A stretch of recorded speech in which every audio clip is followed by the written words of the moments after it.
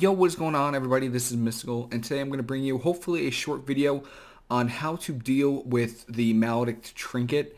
Uh, for those of you who don't know, Maledict was added in Season 1. I'll get into more info about it in a little bit.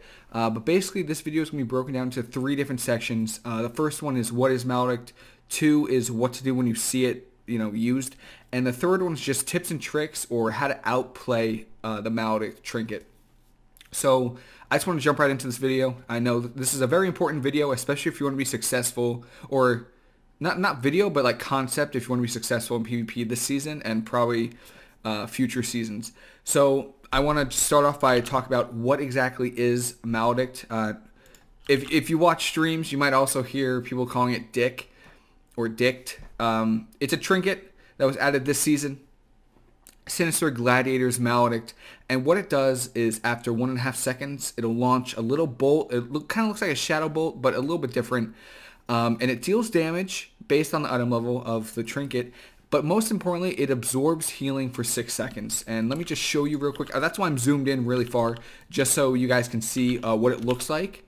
Um, the visual is kind of unique. So if you're paying attention and you're not like looking down at your bars and you're like looking in the center of the like this area, normally you'd be able to see it coming in and you can react pretty fast to it. So this is what Maledict looked like looks like right there, and it see how it did damage and now it's absorbing 62,572 healing. So that's what Maledict is, and now I want to talk about what you should do when you see it used by other teams. So if you're new to the season or if you're starting the season and you quit and you're just coming back or you're still watching videos or whatever, um, Maledict has changed since it was first introduced. Uh, the first iteration of Maledict, uh, it did damage, it did healing absorption, but you weren't able to spell it. Now, as a healer and through other different ways, which I'll get about in a little bit, you can dispel Maledict, which is awesome. It is considered a spell, so you it does interact with other abilities uh, as if it was a spell.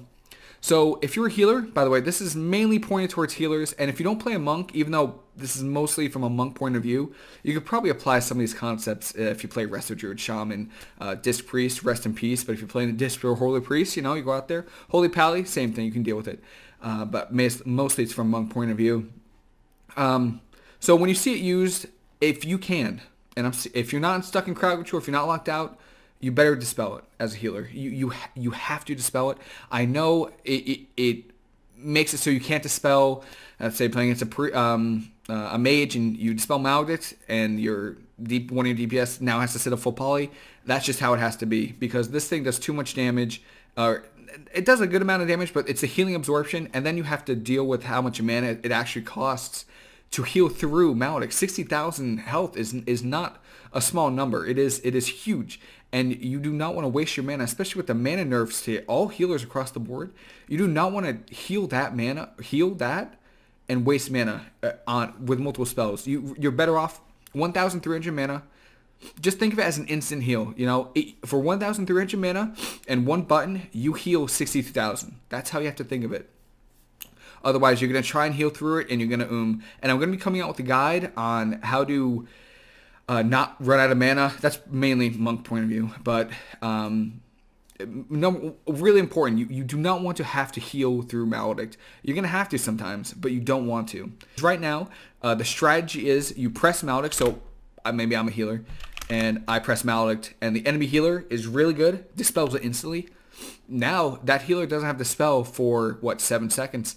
So now both of my DPS, my probably DK and Warrior, they're both going to use their Maledicts, and there's nothing they can do about it. You don't have a dispel. You have nothing. If you're a priest, maybe you can mass dispel it, but as a monk, I, maybe I have revival, but that's a three minute cooldown. I can only do that once, and this has a two minute cooldown. So what happens when you see a maledict and you can't dispel it? Most of the time, you might have to just heal through it. Unfortunately, um, you're gonna have to. If you're gonna heal through maledict, you really want to um, you want to use do it as efficiently as possible. So if I see Maledict and I can't dispel it, I'll press Mana Tea instantly. If you're a Druid and you see Maledict, you can't dispel it, press Innervate, try and heal through it. Uh, as for other healers, I mean, it, you're a little bit better on mana, but you know, Holy Palace and Resto Shaman, Disc Priest, uh, you're you guys are gonna have to heal through it as efficiently as you can. I want to talk to you guys about how you can actually prevent Maledict. So the last thing you want to do when it comes to Maledict is heal through it. You you do not want to heal through it. So let me talk to you about some abilities that can hopefully prevent Maledict from ever hitting.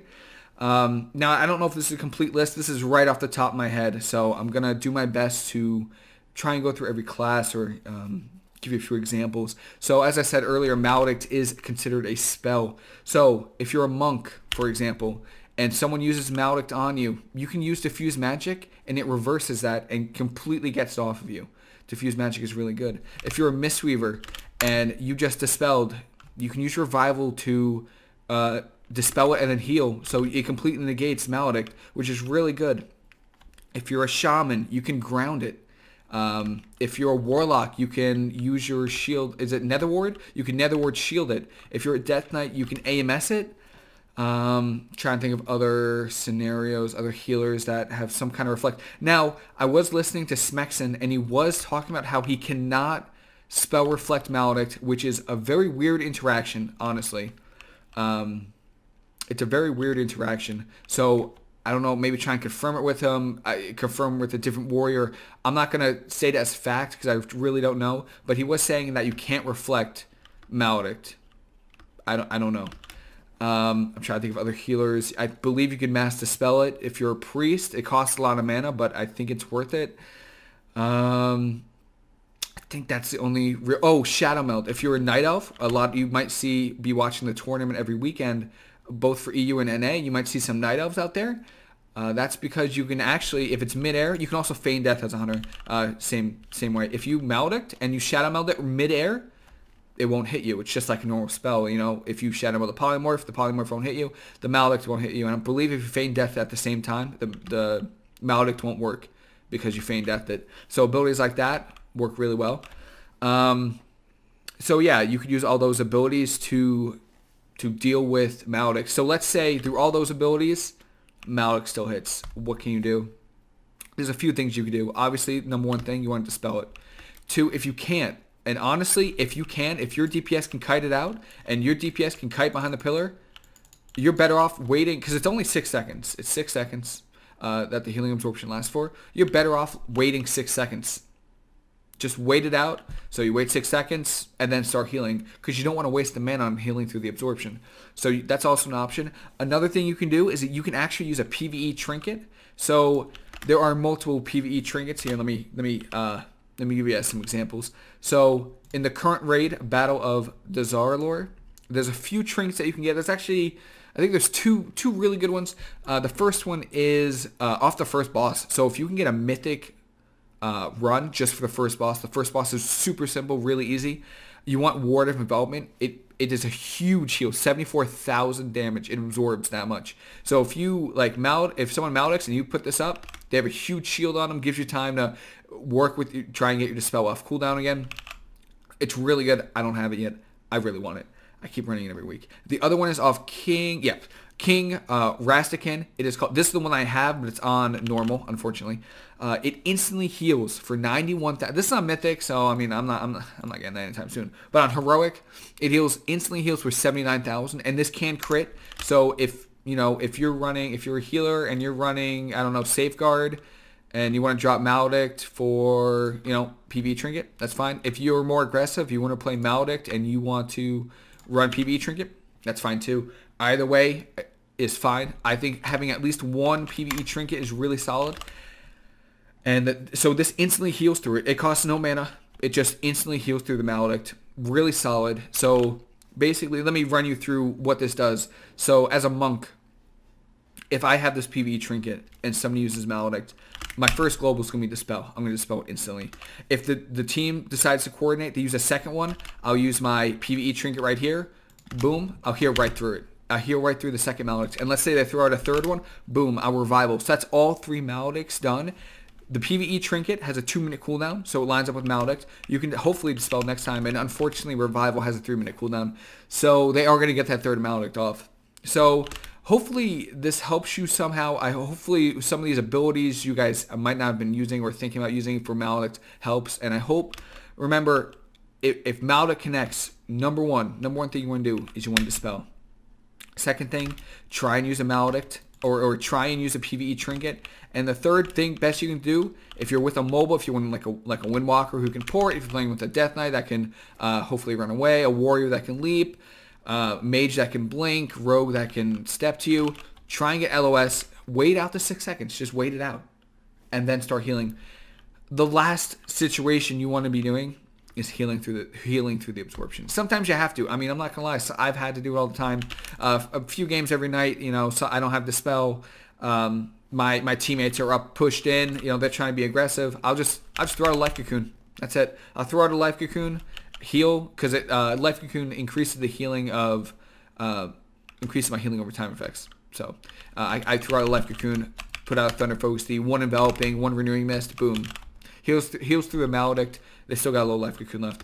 So um, hopefully this helps. Um, I hope there's some kind of information in here that you guys enjoyed. If there's something I said that's wrong or a spell that I doesn't interact the way I think it is, please let me know. But I'm pretty sure the spells I listed work, and I'm sure there are a bunch more. You can greater fade. Oh, if you're a priest, you can greater fade as well. I forgot about that. So yeah, if you have any questions, please let me know. Um, yeah, I'll be coming out with another guide on how to deal with um, mana and how to stay at a healthy amount of mana as a Mistweaver Monk pretty soon. So that's pretty much it. Hope everyone has a great day, and I will see you later.